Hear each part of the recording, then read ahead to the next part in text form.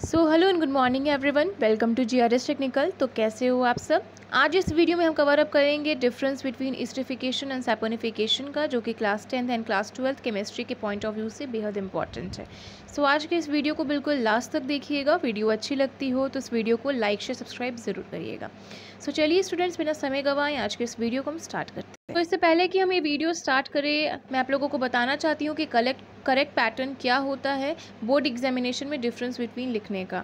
ठीक है? क्योंकि मैं बहुत सारे स्टूडेंट्स को मैंने देखा है कि गलत तरीके से वो लिख करके आ जाते हैं डिफरेंस बिटवीन बोर्ड एग्जामिनेशन में या फिर प्री बोर्ड्स में एंड उन लोगों का मार्क्स बिना मतलब का डिडक्ट हो जाता है। सो so, मैं नहीं चाहती हूँ कि आप लोगों का मार्क्स जो है वो अननेसेसरी डिडक्ट हो। इसीलिए आज मैं आप लोगों को एक्सप्लेन कर देना चाहती हूँ कि प्रॉपर तरीके से डिफरेंस बिटवीन कैसे लगते हैं। सो so, आपको फ़र्स्ट टाइम में आपको पहला टॉपिक लिखना होता है एंड बीच में पेंसिल और रूलर की हेल्प से एक लाइन को ड्रॉ करना होता है and same on other side आपको दूसरा टॉपिक लिखना होता है। ठीक है? तो बहुत सारे स्टूडेंट्स को मैंने क्या देखा है कि एक साइड में पहले टॉपिक को लिख देंगे और बगल में, नीचे में दूसरे टॉपिक के बारे में फ़र्स्ट पॉइंट लिखेंगे, फिर यहाँ पे स्टिफिकेशन पहले टॉपिक का फ़र्स्ट पॉइंट लिखेंगे। इसी तरीके से वो लोग लिखते चले जाते हैं, जो कि रॉन्ग होता है। सो करेक्ट पैटर्न ये होता है कि आप लोग इस तरीके से लिखें, जैसे कि यहाँ पर मैंने बॉक्स बना करके अच्छे तरीके से नीट एंड क्लीन लिखा है। अब यहाँ पर हम डिस्कस कर लेते हैं डिफरेंस बिटवीन के बारे में। तो इस्टिफिकेशन का फ़र्स्ट पॉइंट हो जाएगा students reaction in which carboxylic acids react with alcohol in concentrated H two S O four यानी कि जो इस्टिफिकेशन होता है, उसमें रिएक्शन होता है कार्बोजैलिक एसिड का एल्कोहल से। ताकि वो concentrated H two S O four बना पाए।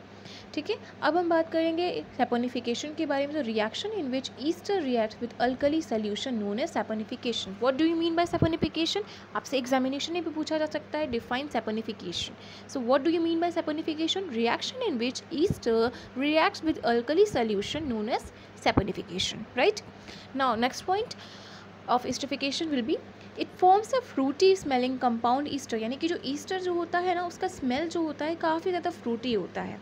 ठीक है? मैंने आप लोगों को पढ़ाया भी है कि जो ईस्टर जो होता है, उसका स्मेल काफ़ी ज़्यादा फ्रूटी होता है।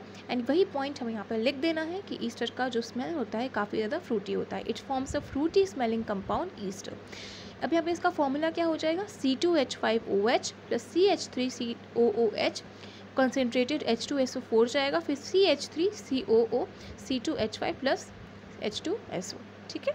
अब अगर हम सेपोनिफिकेशन के बारे में बात करी तो it forms a compound call as soap यानी कि जो सेपोनिफिकेशन का जो कंपाउंड होता है, वो सोप बनाने का होता है है ना? तब इसका क्या हो जाएगा?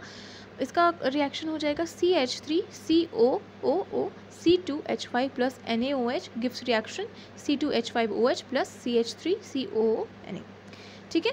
अब यहाँ पे हम डिस्कस कर लेते हैं point number four point number four है हमारा इट रिक्वायर्स हीट एनर्जी यानी कि जो ईस्टिफिकेशन होता है ना, उसको हीट एनर्जी बहुत ही ज़्यादा रिक्वायर होता है. बिना हीट एनर्जी के ईस्टिफिकेशन से हम कुछ भी चीज़ नहीं बना सकते हैं. ठीक है? वहीं अगर हम बात करें सेपोनिफिकेशन के बारे में तो it doesn't required heat energy saponification में हीट एनर्जी की ज़रूरत नहीं होती है। स्टिफिकेशन का फोर्थ पॉइंट है कैटलिस्ट जो होता है, वो एक एसिड होता है। यहाँ पे लिखेंगे हम स्टिफिकेशन में catalyst is an acid and point number four of saponification would be catalyst is a base यानी कि सेपोनिफिकेशन में जो कैटलिस्ट जो हो जाता है, वो बेस हो जाता है। एंड एग्जाम्पल्स तो आप सभी को पता ही है कि स्टिफिकेशन का एग्जाम्पल्स में हो जाएगा आइसक्रीम जेलीज ये सब। और सेपनिफिकेशन से सो बनाया जाता है है ना? सो आई होप कि आपको ये वीडियो अच्छा लगा होगा और अगर आपको आज का ये वीडियो अच्छा लगा होगा इस तो इस वीडियो को लाइक सब्सक्राइब ज़रूर करिएगा। एंड अगर आपको कोई भी पॉइंट में डाउट अगर आ रहा हो, कोई से भी टॉपिक में डाउट आ रहा हो साइंस में साइंस क्लास टेंथ में फिजिक्स केमिस्ट्री बायो या क्लास ट्वेल्थ में फिजिक्स केमिस्ट्री बायो में तो आप कमेंट डाउन ज़रूर करिएगा। मैं श्योरली आपके डाउट्स को जल्दी से जल्दी रिजॉल्व कर दूँगी। So thank you so much for watching this video जय हिंद बंदे मातरम।